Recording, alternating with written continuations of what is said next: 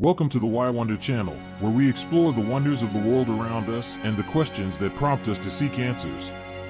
Today, we will embark on a fascinating journey to understand why there are so many different religions in the world. From ancient times to the present day, humanity has been guided by an impressive diversity of beliefs, rituals, and spiritual traditions. But what drives us to embrace these different worldviews? What explains the richness and complexity of the religions that permeate our history and culture? Let's dive into this intriguing topic and unravel the mysteries behind humanity's religious plurality. Get ready for a journey of discovery and reflection. It is virtually impossible to measure the number of religions in the world. Currently, the religions with the most adherents in the world's population are Christianity, 28%, Islam, 22%, Hinduism, 15%, and Buddhism, 8.5%. Judaism reaches approximately 16 million people. Spiritism, although not considered a religion, has about 18 million adherents. Like these religious movements, most religions in the world are still subdivided into segmented groups, parties, and denominations with doctrinal and practical differences. In addition, there are smaller religions and sects, practiced by specific ethnicities, such as indigenous groups, aborigines, and tribes from the interior of Africa who have their belief system. Many of these religious movements are monotheistic, such as Christianity, Islam, and Judaism, which share the worship of the same God, the God of Abraham, but with marked doctrinal differences between them. Other monotheistic groups, such as Sikhism, believe that truth is not limited to a single belief. On the other hand, there are polytheistic religions, which adopt a group of deities in which each one is the patron of one or more forces of nature. Many of these polytheistic religions resort to the occult, animism, and ancestor worship, among other spiritualist beliefs attributed to their gods. Other religions, such as Hinduism, believe that there is a divine life force that permeates all the elements of nature, with the power to transform everything that exists into a potential god. Other beliefs claim that living beings, especially humans, are bound to the physical world and go through a spiritual pilgrimage in search of a higher sphere of existence, such as enlightenment, eternity, or the ultimate good. This pilgrimage depends on the intrinsic spiritual force of the human being, which can last for eons of reincarnation. Many of these religions have great influence over society, politics, and government. These influences are expressed in the caste division, as in India, or in the civil, social, and political spheres, as in Italy, the Vatican, and Turkey. Other nations adopt an official national religion that dictates their legislature, such as the United Arab Emirates.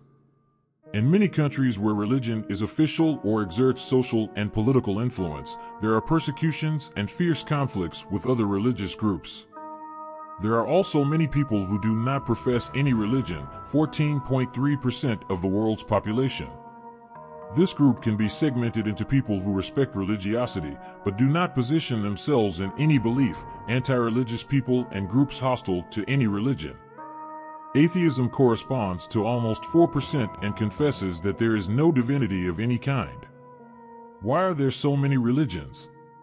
This is a vital question for defining human identity. This article is not an anthropological or philosophical study of human religiosity, but a reflection that is based on the Bible, adopting the following premises. 1. The God of the Bible is the one true God. 2. The Bible, in its entirety, is God's revelation to humanity. 3. God is the creator of the universe, and he made the heavens and the earth in six literal days. 4. The human being was created in the image and likeness of God but 5. It currently lives outside the divine patterns of creation by virtue of sin. Descriptive anthropology assumes that every kind of religion is created by the human community that prostrates itself before it in an attitude of projection. Projection is a defense mechanism in which personal attributes, unwanted thoughts, psychological trauma, expectations of the future, and emotions are attributed to another individual, group, or reality, such as a trauma from the past. In the case of religion, the human being projects all this onto one or more deities, supernatural force, spiritual entity, cult, or ritual to explain its existence, its complexes, and perspectives. In other words, human beings create their own gods, cults, and rituals to justify their way of life. While this description is plausible, it is not true, nor is it applicable to every religious movement. But there is a factor to consider. This statement proves that most human beings have an inherent tendency towards religiosity. Every human being has the need to believe in, worship, and serve someone greater than himself. Even atheists worship reason and knowledge of the universe as something greater than themselves. Now, if the universe were the result of a merely evolutionary process absent of any supernatural or divine power that would guide it, this natural tendency that shapes cultures would not be part of the human being. So, if we have the tendency to worship, it is logical to understand that we were somehow designed by a higher being. Biblical religion, and we are not talking about a specific Christian group or denomination, but those who believe in the Bible as God's revelation, believes that human beings were created by God on the sixth day of creation. Therefore God created man in his own image, in the image of God he created him, male and female he created them, Genesis 1 verse 27. This explains human religiosity. The human being created by God turns to the one who is the pattern of his image. God has made everything beautiful in its due time. He has also put eternity in the heart of man, without his being able to discover the works which God has done from the beginning to the end. Ecclesiastes 3 verse 11. On earth, all of creation was aesthetically perfect and pleasing to the senses. God has gifted man with the sense of eternity, that we belong to something greater in the dimension of time and space. This consciousness of the infinite generated a feeling of connection between the Creator and the creature. In Eden, the sense of eternity was perfectly filled by God, satisfied in the adoration of his loving character and in the recognition that he is the gift of life. When Adam and Eve, deceived by Satan, sought the impossible of being like the Creator, Genesis 3 verses 1 to 6, see Isaiah 14 verses 12 to 14, believing that they could be their own gods, they forsook the true and only God. This disconnection from infinity makes us feel small, preoccupied with the future we don't know, and dissatisfied with the transient and limited things of our sinful life. This disconnect has led to a relentless search for what we have lost. The void needed to be filled again, and Satan took advantage of this to distort the concept of worship. As generations passed, before and after the flood, humans sought to satisfy this need in the pursuit of power, prosperity, and the worship of imaginary gods, graven images, or themselves, Exodus 20 verses 3 to 6. As a result, humanity has plunged into the worst stages of violence, perversion, corruption, and degradation. Today, even if they are unaware or skeptical about God, we all feel the need for security regarding infinity in the space-time dimension. We are a race of nearly 8 billion people living in a tiny speck of cosmic dust, fully exposed to the power of the forces of the universe. How can we know if the sun won't fry us in the heat of a supernova, if the moon will crash into Earth, or if some asteroid will cause a mass extinction? How do we know if we're going to have an accident on the way home or contract a fatal disease? We are so small in the face of the immensity. Carl Sagan, an atheist cosmologist, said that immensity is tolerable only through love. But John said that God is love, 1 John 4 verse 8. For this reason, human beings can only find true security and meaning in life by returning to their ancient origins. The Greek term for sin is hamartia, which means to miss the mark, as when an archer missed the mark by shooting his arrow. The hamartia or sin occurs when a human being prostrates himself before the satisfaction of his sinful desires, when he places them above the loving will of God. Every time we sin, we miss the mark, for we are worshiping ourselves. This explains why there are so many religions.